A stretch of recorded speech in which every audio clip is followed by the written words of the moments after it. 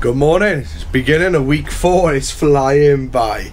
Going a bit quicker than I expected, but filming also takes a long time. Right, so I think what I'm going to do today is I'm down to my last full board, and I know that's got to do the front for the shower, and then I got lots of offcuts. I've still got two wall cabinets to do. I've got the end and back panel of the kitchen frontals to do, and then it's just doors. So I'm pretty confident with what I got. I got enough to do it all, but to play it safe, what I'm going to do is do all the main parts first. So I'm going to make and dry fit the other two wall cabinets. As I said before, I don't want them to actually go in yet. But I figured if I make them and put them to, to the side, at least I know then that that wood's been secured for those. And then all I'm going to have left is the doors to do. I'm going to do the wall cabinet for up here, the one that goes above the kitchen, and then get them done. And then I think I'll also, on the last full piece, I'm just going to roughly cut the shower bathroom frontal and then I know then all the offcuts are for doors. Got some ply coming today, which is great. I've also got a lot of deliveries coming sort of today and tomorrow, so there's some stuff now to really sort of get stuck into this. Another job that's desperate to be done is let's get these sides of these walls done in the garage. I've also ordered rubber penny flooring for the garage. Still haven't chosen anything yet for the main part, but we'll get that decided upon. I think that's something I can leave right to the end because Charles like, fit it first. And I'm like, well, if I fit it, yes, it's easier because I can go side to side in the van and I ain't got a cut all around the cabinets, but you're in and out all the time with wood and it's like the shower end panels, they are floor to ceiling, so it'd be so easy to just cut into that flooring as you're bringing them in. I'm not going to bore you with cutting these wall cabinets. I'm going to get the two wall cabinets done and I'll show you afterwards. So I got the first one done. This is the one that's going up the bed and that's the base bottom part for it. And you might hear some banging. I got me a little apprentice today. you right, love? Yeah, I've got our make. Our make. Gotta doing one of these knock-on trims. Right, let's check it out. Come on, let's be honest now. You've had me cutting out the whole thing. I've measured it, you know, Hmm. it's been scribed, it's been sanded. We've also put the router on and then we filled Let's not put the corner of the board though on the bare wood. Oh yeah, sorry about that. But yeah, I think it's uh, pretty neat actually. So where's this one going, love? This is the cupboard fascia for above the kitchen. Alright, fair enough. Yeah, it is. But to be fair, you did take me in there and help me hold it there, so. This is the front now for the kitchen one. They're all around 300 mil high. In fact, they are all they're all 300 mil high, so it's nice. They're even all throughout the van. I'm just doing different depths depending on where they are. So like the one at the end of the bed, I've done quite deep because it's out of the way. Whereas the one above the kitchen, I'll do a little bit shallower, the same as the one above the bench, so you don't knock your head on it. Now this face is done, we'll put this to one side and we're going to do the base. What do you think, love? I think I've done a cracking job so far, to be honest. Right, come on then, let's do the base. The bottom of the Yeah, the bottom part of it. Yeah, where's the wood for it then? You tell me. Well, I thought it was down there, but you've been shuffling things around, and let's face it, it's in a bit of a tip over there now. It was looking lovely at the other It was, oh, as I showed you earlier, know. all our offcuts are there, but that's for like doors and end panels, so we'll find a piece that'll be good for the bottom. Love. Yeah, so it wasn't me being stupid, was it? Let's face it. I'm thirsty. You want another cup of tea? Oh, I made him a bacon bat this morning. It was about five or six thick rashers in there. Lumped it in. That's why my mouth is so dry, yeah. Right, back to work. Brew time, babe. You gonna take a break? What's these posh mugs? Well, I got them because they got lids on them, so you don't get your wood wood dust in your tea, I like it. Isn't it. So you know you can't you can't have a builder's brew without having a proper lid on it. See, look at that, no dust. Happy with that. Yeah, that's good. She can come again. Okay, it's been a couple of hours. Um, we've been quite productive so far today. We've got a wall unit here that's ready for the kitchen area. We got the wall unit here, and that's for the end of the bed up here.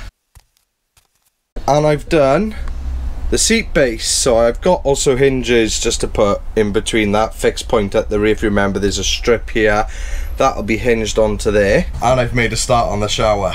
We've done the boards but here and I've also started tanking. Now tanking is something that's used in wet rooms and it's a waterproofing sealant system that just needs to be done on any camper van. I can guarantee you that any camper van that's been built like this without the tanking kit is either A leaking and you don't know about it or it's leaked and you know about it or it's going to leak very soon. When you do tanking what you need to do is you need to do a primer over all the internal walls and floor of the shower. I buy a kit from Screwfix. It's a Mapei, I think it's called a shower waterproofing kit. I'll show you in a minute.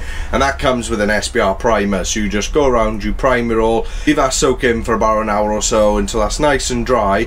Then you can get on to your tanking. Now the tanking comprises of this mixture and this tape. So this tape's got netting on the sides and then this rubber like it's not bitumen it's like a rubber strip in the middle.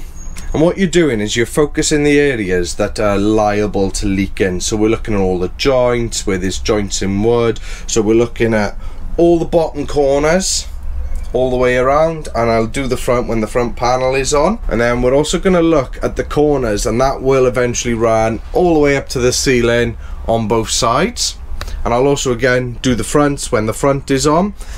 Now I've done this in two pieces, it was just easier and there was no reason why I didn't have to. So I'll also run some along this one and also on the ply going across there where that was also done in two pieces. And to do tanking, all you do with a nice big brush is do a thin coat of this to start with and let that dry. And then after a couple of hours, I'll come back with this tape and because I'm doing, you can just see now, I've actually run some all up here and I'm just about to do a section to come down here. What you're going to do is you're going to repaint it quite thick, get your tape on, and then I use like a flat edge, get it in nice and tight into the corners, and then when it's all sat nice, just go back over it all with a brush and a bit more of the tanking kit.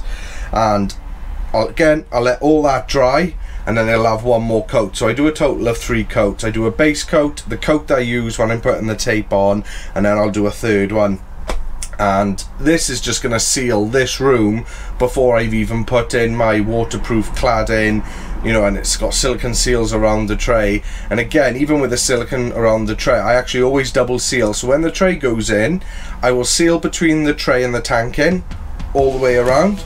Then I'll install the cladding and then I'll seal between the cladding and the tray again. So we've got two lots of silicon one lot of tanking this thing ain't leaking at all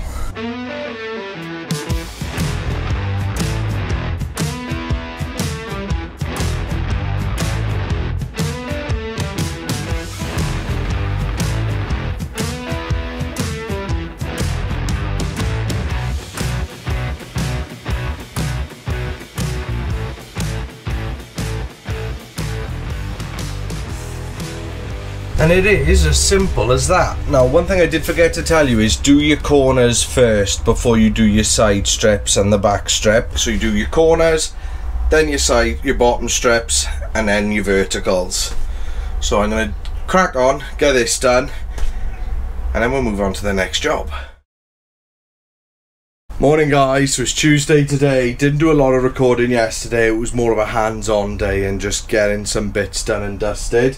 So we've had quite a lot of stuff arrive. So I'll show you what we've got and then I'll show you what we've done. We've picked up the shower. Now this is on a riser kit like you'd have in a house with a thermostatic bar. And it's quite low profile, that's not too bad. So that's here. All the cladding for the shower room is here. And we've got the diesel heaters arrived that's the penny rubber flooring for in the garage. We got some carpet mat in here, that's for the front of the cab. Also, my piggyback fuse has arrived, so I finally got the right size that will connect my ignition live that goes to the DC to DC. So that's been fitted, tested. That's good. The USB port for this panel has arrived. That's all in. Also the fixing kit is here. So that's just sat there ready to be fitted.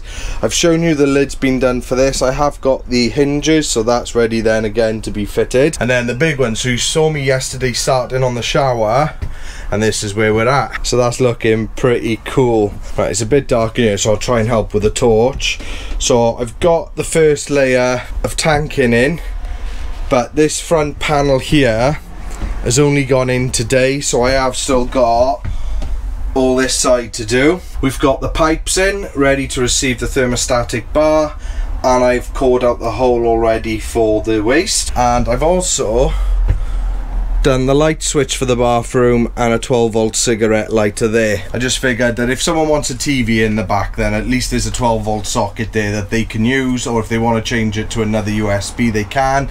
But bearing in mind they are having USB lights here and on the other side. They've also arrived so they're ready for fitting. All the LED strips for under the wall units have arrived in strips. Now I built there was something else I did. Oh this bench is quite comfy.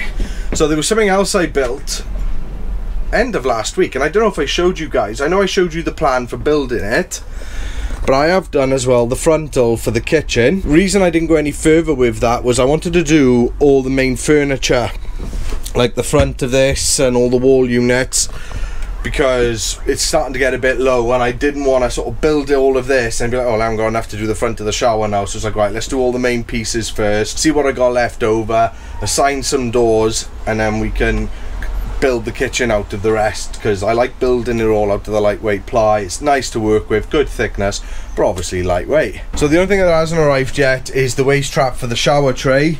So as soon as actually I can get that fitted, get that dropped down on a bed of silicone. I don't know what to do with the shower door yet. I've kept the original cutout, so I'm thinking I might use that as a door and hinge it and get a handle on it. I think that might be quite nice. Or do I leave it open and put a shower curtain across. I mean, it's going to have a shower curtain anyway.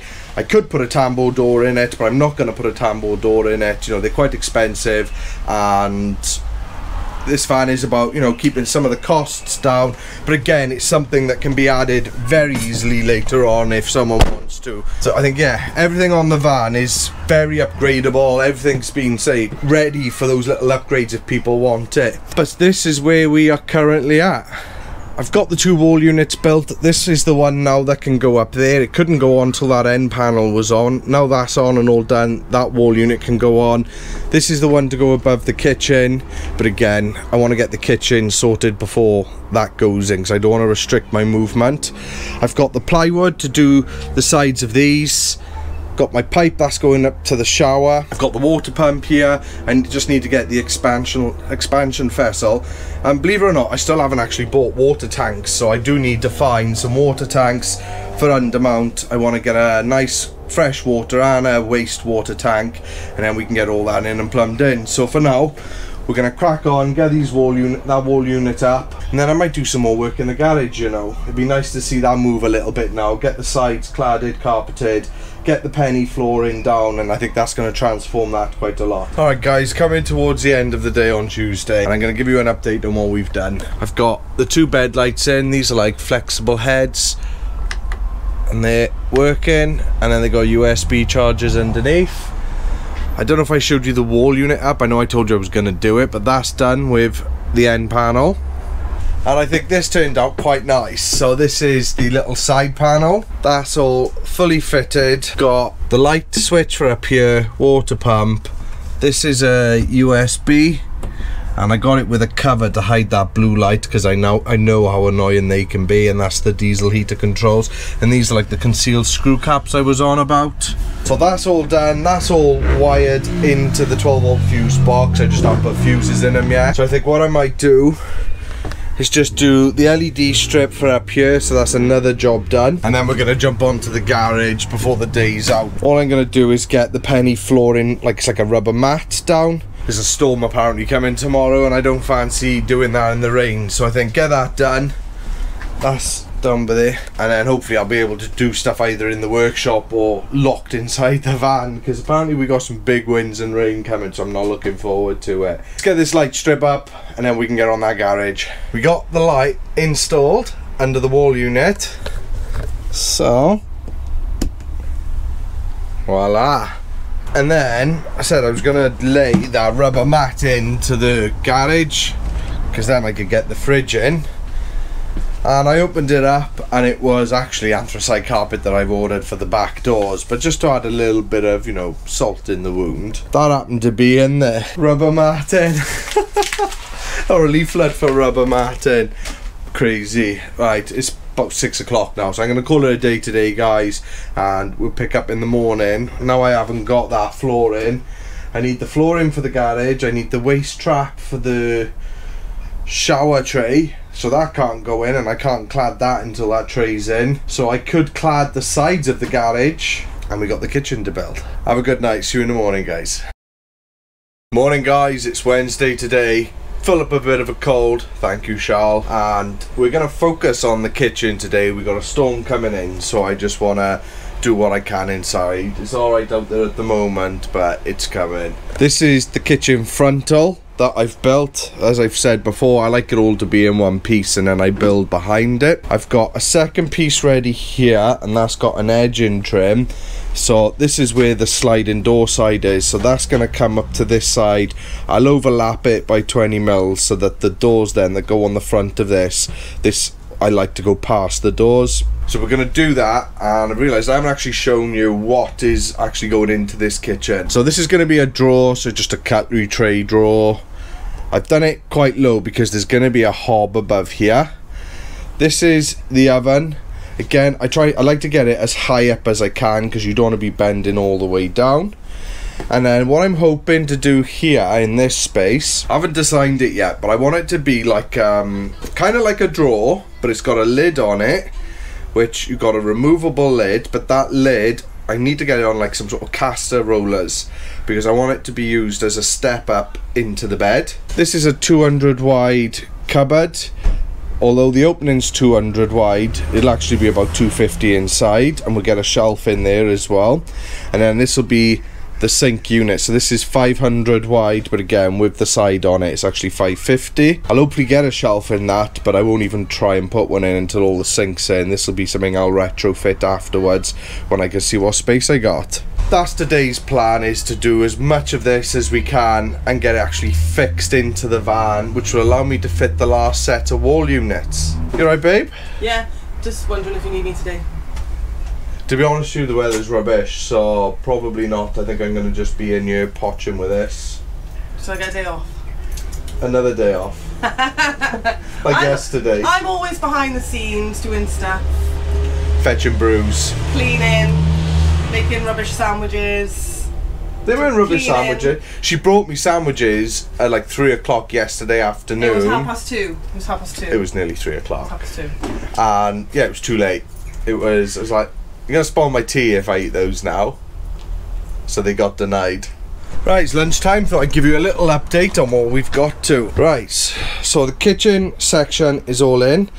Done the end panel, back panel, and got the two dividers in because these two are the cupboards, and then that over there will be sectional. Also got the wall unit up and done the back panel. Got to do an end panel, but I can't do that till I've carpeted beer. What I'm going to do next, the flooring for the garage has arrived, that penny rubber matting. I think we'll get that done next. Because when that's in, that means I can get my fridge in and then I start looking at water tanks and where the bits in the garage are going. I think in the garage is going to be, you've got the fridge. I say water tanks, water tanks are going underneath, but the water will need to come through. So I'm still waiting for the drain on the shower tray, which is annoying because that's all ready to go in and that can be cladded. Still don't know what to do with the wheel arches yet, whether to carpet them or box them in. But I think if you box them in, you're going to lose a little bit of space. We'll see what we do with that, I'm not sure yet. But I want to get the flooring done and then get these side panels done on the sides. And do a bit of work in the garage because it's looking a little bit deprived. Right, so this rubber flooring, I got it off eBay because I noticed a lot of the van conversion sites that were selling it was a little bit overpriced.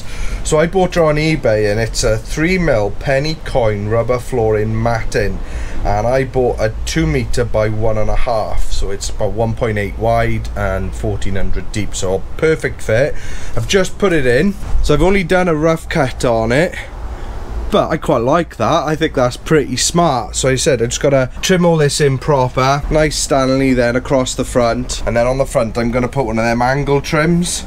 But I'm not sure whether do I staple it down? Do I glue it down? Do I let it just free float? Research required. But I like that. Really good. So I'm gonna crack on with that. The winds are starting to pick up a bit now. So I think if this storm is coming and I know I keep going on about this bloody storm but that's all the radio's going on about. So where is it? Because it's been lovely all morning. This has had its trim.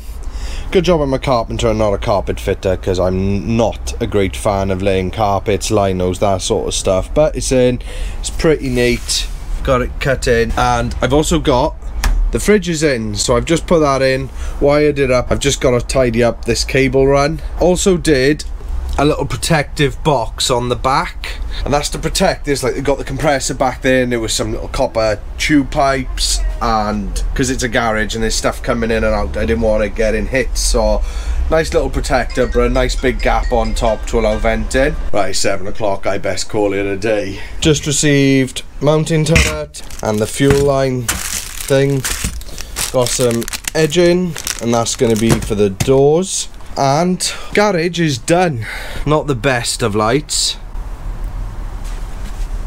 Let me see if I can help you out.